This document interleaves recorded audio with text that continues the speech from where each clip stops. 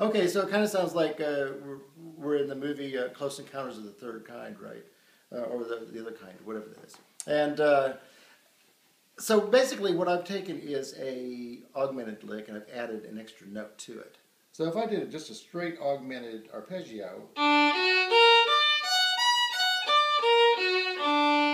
and that very effective in any kind of a swing, a jazz uh, format. And if you use an augmented too early in your change, it's like, okay, how do I maintain this harmonic thing for a long extended time? And really works very great if you can use it for just for two beats uh, and then make a transition to another chord.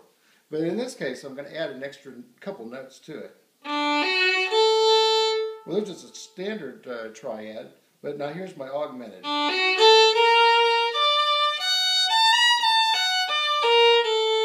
So I just added an A note and, and, and still kept my B, uh, my A sharp.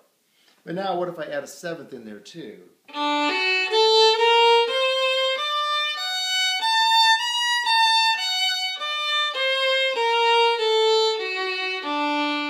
Well, what if I add an E in there?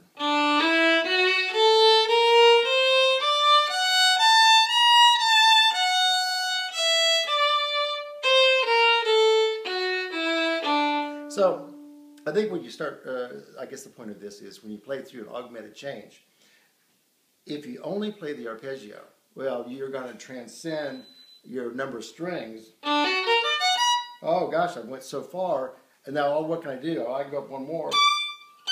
Now what else am I going to do? It's like you run out of space when you only do the arpeggio. But if you can add a couple notes into that, then uh, it'll give you a little bit more time before you run out of space.